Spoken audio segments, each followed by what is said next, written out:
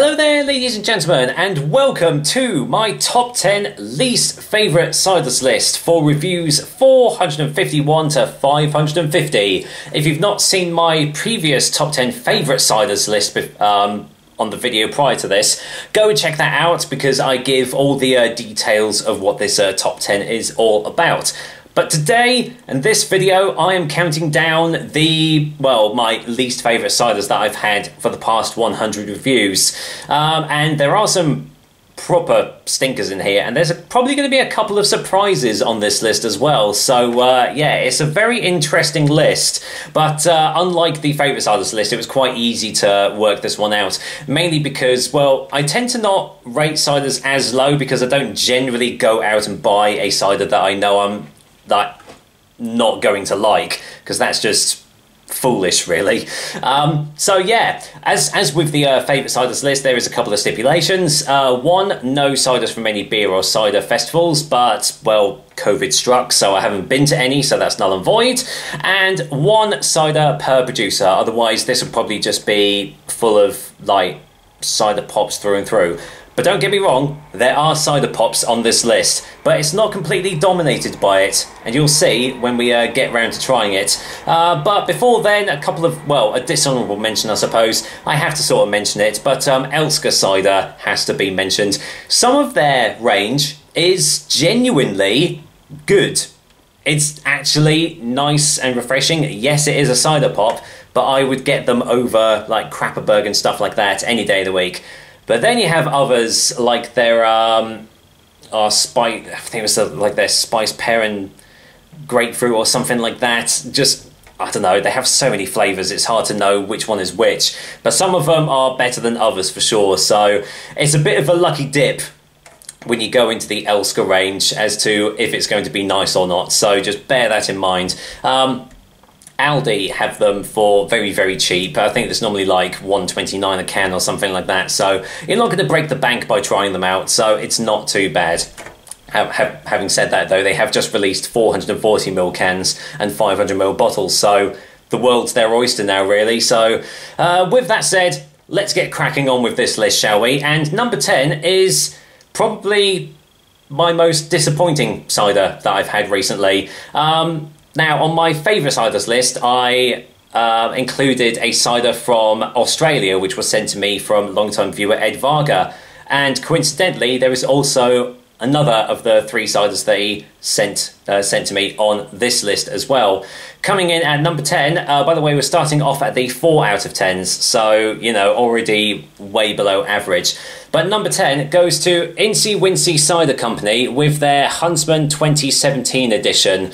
Uh, I yeah, I was just really disappointed in this cider, if I'm being honest. Um, I know Ed has tried it and he has really liked it, but man, I just could not get on with this cider at all. And it holds the record for being the strongest cider that I have featured on this channel, not including ice ciders or spirits or anything like that. This bad boy clocked in at 9.2% ABV. So you're getting into blooming like, you know, like Pommeau territory and stuff like that, um, or I like ice cider territory because they're about like 11 12%. But I just tried it and it was just all alcohol. It was just all about that strength, and there was just no real discerning cider characteristics in this. It was literally just a smack in the face saying, Yes, I'm strong, deal with me. And I couldn't deal with it, unfortunately. There was some dryness to it, but man, that alcohol hits just completely ruined this one for me. So it's a real shame because the labeling looks absolutely fantastic. It looked the part and it sounded the part as well. Um, but for me, I don't know whether it was just a little gimmicky with it being really, really strong. Um, I mean, I'm hoping that the rest of their range are a lot nicer. I doubt I'll ever get around to actually trying any of them. Uh, but yeah, unfortunately, you can't like them all. So big you know, sorry to Ed Varga for, for that one. But the other two ciders that he sent to me more than made up for that one. So um, you can't like them all, can you? So number 10 goes to Incy Wincy Cider with their Huntsman 2017 edition. Now, number nine, the first of um, quite a few cider pops that are on this list, and it's one that sort of made my blood boil a little bit, and you'll know why when you uh, see what uh, cider, well, what cider pop it is. It was crafted and founded by, um, crafted by founders and twin brothers Ben and Dan. It's Crane's Cider Company, and the number nine spot goes to their raspberries and pomegranates. Now, they market this as a better, healthier cider for you to try. I mean, at the top it says 30% fewer calories. Fewer calories than what? Fewer calories than a Big Mac? Fewer calories than a doner kebab? Who knows? They don't go into it. But they also say that it's got less sugar than the standard ciders that you get out there. But I did the calculations and it's still not that great for you. But not only that, but the cider itself, well, the cider pop itself wasn't exactly great either. Soon as I um, opened the can, I just got hit by sulfites, and I was like, "Yep, this is uh, going to go down a treat, isn't it?" And the flavour combination just didn't work out at all. There was something a little bit off about the flavours, uh, so I don't know whether something went wrong in the canning process or something like that. But man, this did not taste nice at all. I know some people have said they've had this and they've really enjoyed it, and you know, fair play to you. You know, we all can't like everything, but for me personally, this just did not do it for me. And with a little bit, well, it's sort of false advertising, really, isn't it? 30% fewer calories, but you still get calories in it. It's not like it's like these hard seltzers that have come out onto the market where there's like no calories in it. It is still, you know, not that great for you. But I suppose compared to Krappeberg, Maybe it is. Who knows? Uh, so yeah, number nine spot goes to Crane Cider with their raspberries and pomegranates. Definitely wouldn't recommend this. I only paid 69 pence for this can, and it still felt ripped off. So, number eight, and uh, this is a cheapy supermarket cider, but it's not a cider pop, and it's also um, from a supermarket that I have featured before. And well, let's just say well, it's really weird. I'll show you what it is first. It is Co-op's cider, but specifically in a can. Because you see, their 568ml bottle is different to their canned and their 2 litre plastic bottle cider. Why? I don't know. What I will say is, this one is nowhere near as bad as the bottled one was, but man, it still was not great. And when you read the ingredients that have gone into it, um, there was burnt sugar, burnt sugar? Why would you put burnt sugar into a cider? Uh, but it turned out to be one of the most nondescript and blandest ciders that I have ever tried. Not, I mean, that doesn't mean that it's like bad tasting, but it was just so completely inoffensive and so you might as well just be drinking fizzy water that it wasn't even really worth giving a go. Um, I mean, I got it for a reduced, but normally you can get four cans for £2.50. 50 pence for a cider? I mean, warning bells are already starting to ring, aren't you? But to be fair, if you're going to buy this, you're not going to get it for the flavour, are you? You're going to get it to get drunk. But it's not even that strong. So, I don't know. 5% ABV? Don't really know who it's sort of catering for. Maybe, you know, you can use it in cooking, I suppose, um, because it is, suppose, inoffensive. And it got a 3 out of 10, so it's not undrinkable, but I definitely wouldn't rush out and buy another pack of these again. So, uh, yes, yeah, so that's the number seven spot, I believe. No, number eight spot goes to a co-op cider in a can. So number seven, here we are. Uh, well, I had to I had to do this at some point, didn't I? And with the recent trend of rosé ciders coming into the mix, all the big boys are starting to produce rosé ciders, and well. This is probably the biggest boy of them all. Uh, number seven goes to Strongbow Rosé. It was just sweetness that was basically it. I've had a few rosé ciders before now, um, like Thatcher's. They were the first ones that I think introduced rosé ciders into the mix. I even did um, Aldi's like 99p rosé cider, and that was actually really nice. This one was just sweet, just really, really sweet. And not only that, but it has carrot juice concentrate in it as like an added colour if you need to add carrot concentrate into a cider to change its colour, you're doing something wrong. Um, I only paid a pound for the bottle that I reviewed, and I'm glad I didn't pay any more than it because I definitely would not pay any more than that for this. And the fact that they they charge so much more than that normally is just a complete and utter rip-off. If you are intrigued by rosé ciders, don't start with this one. Start with like Thatcher's Rosé or something like that and move onwards from there. But I would say definitely avoid this. It's not terrible tasting, but carrot juice concentrate. Need I say any more? um, so, so, speaking of um, Aldi's Aldi's range. It's uh, one of theirs that comes in next at number six, and I believe we're now getting into the uh, two out of ten territories here. So this just shows you that we're starting to get worse and worse. And I mentioned in my favourite ciders list that elderflower infused ciders are a mixed bag. You you have to be so careful that any wrong move can make it totally overpowering and undrinkable. Case in point, I have got Woodgate's Apple and Elderflower Craft Cider in at number six. Oh boy, this reminded me of uh, Mates, I, Mates Cider Company's Ida Elderflower infused cider. Just way too much on the elderflower. Just too much. There was nothing else to it at all. It was like I just went into the perfume shop and just just went right. Where's a where's a floral perfume? There we go. Spray it down my mouth that's basically what I was getting from this uh, from this can. Um, yes, it was only 99 pence a can, but I would get more well more cans of their range to try than this one. It just did not work out for me at all. As I said, elderflower is a very fine, finely balanced thing to put into a cider. And this just did not work at all. So I would save your pennies, try out some more of their range because they are quite nice. Um, as I said, their rosé is actually a really nice cider but I would definitely give this one a miss. So number six goes to Woodgate's Apple and Elderflower.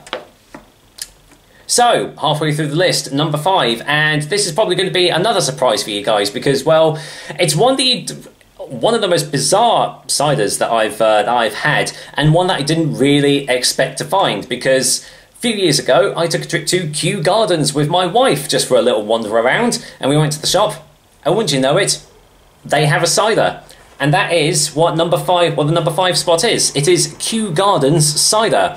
Now, I found that this is made by Wobblegate Cider Company, and upon further review of their ciders and everything, it seems they're not that great at making ciders.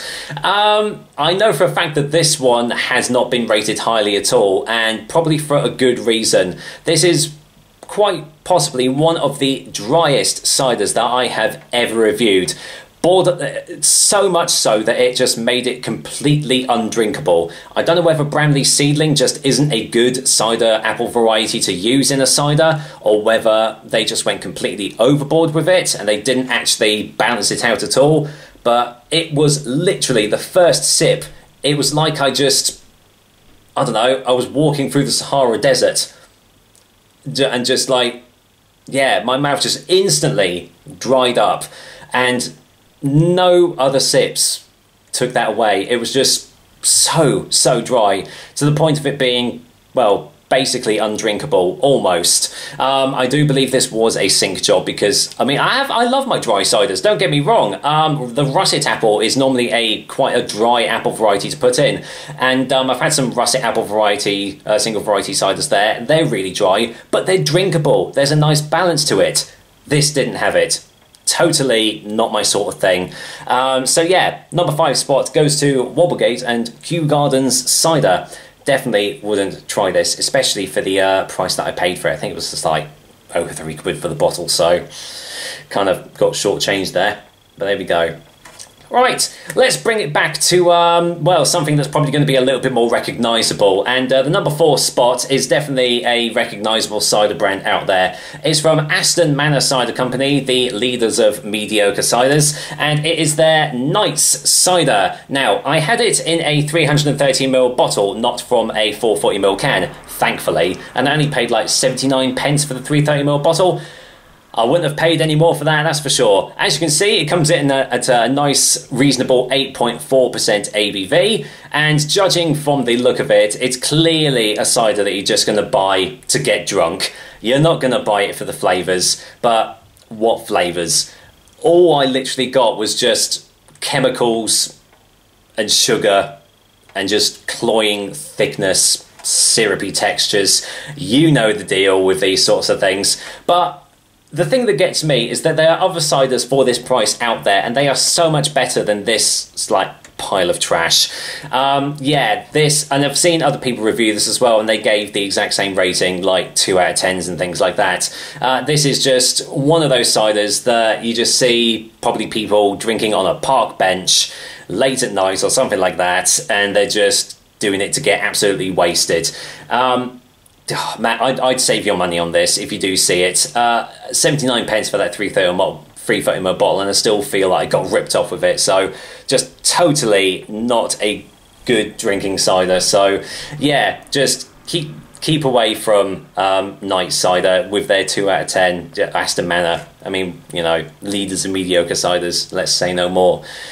So we're getting into the, I think this is the fourth one. Uh, no, this is the number three, and we're into the one out of tens. Yeah, these, we're now getting into the really awful stuff that I have tried.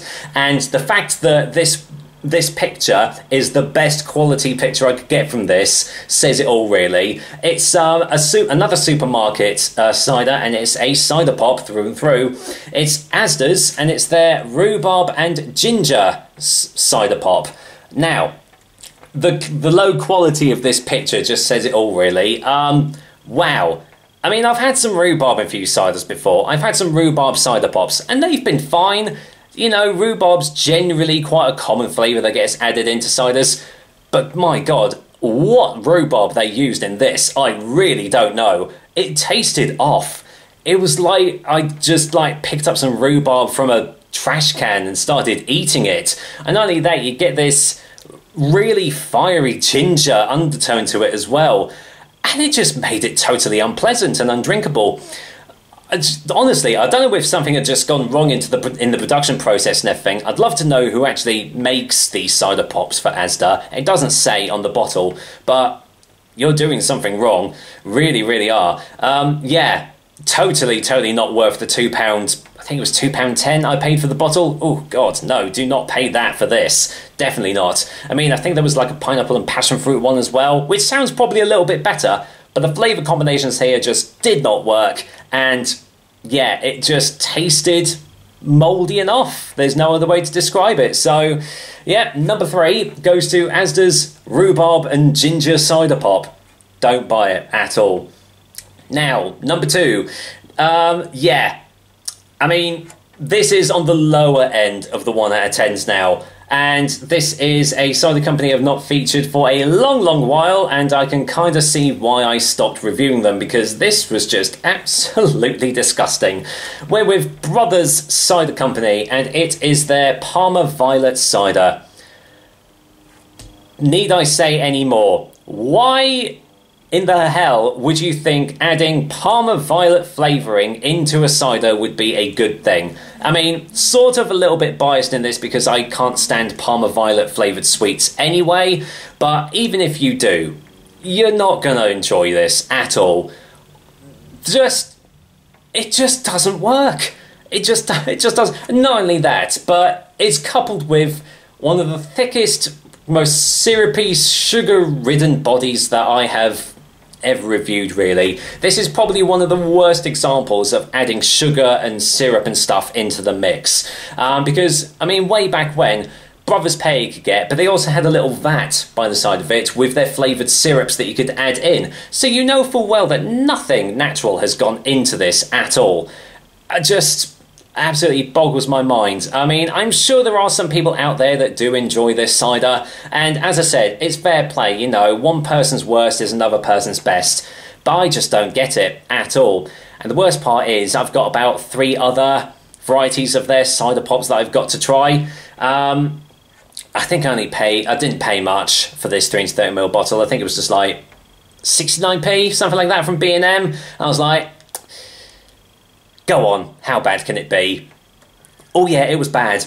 It was really bad. So, yeah, best avoid this one at all costs. Uh, number two spot goes to Brothers with their Parma Violet cider pop. And let me just say that they are sitting firmly at the bottom of my cider producers list with, I think it's an average rating of 1.66. So, yeah, not looking good for Brothers, is it?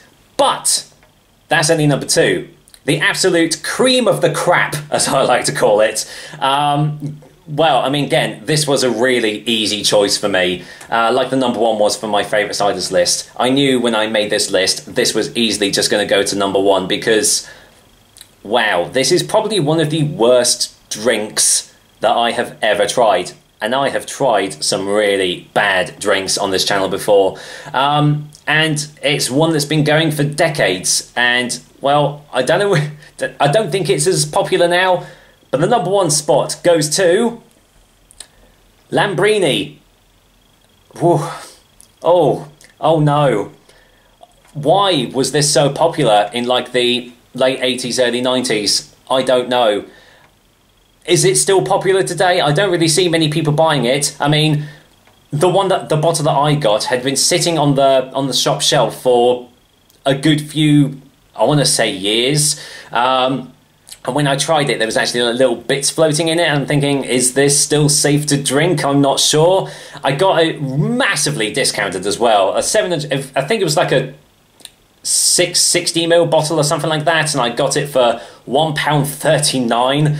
Um, but I've had some bad ciders before that when I've tasted it, they've nearly made me throw up.